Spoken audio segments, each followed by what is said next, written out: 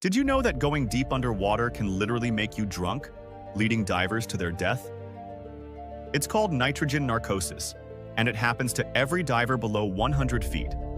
The deeper you go, the more intoxicated you become from the nitrogen in your air supply. Experienced divers have been found at the bottom of the ocean with their breathing equipment removed. They felt so euphoric and invincible that they thought they could breathe water.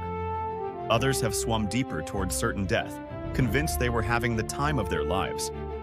This terrifying condition is known as rapture of the deep.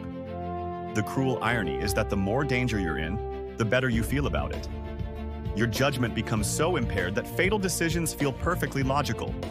Professional divers with decades of experience have died because they trusted their nitrogen-drunk minds over their training. It's a chilling reminder that in extreme environments, our own bodies can become our worst enemy. The ocean doesn't just threaten us from the outside, it hijacks our brains from within.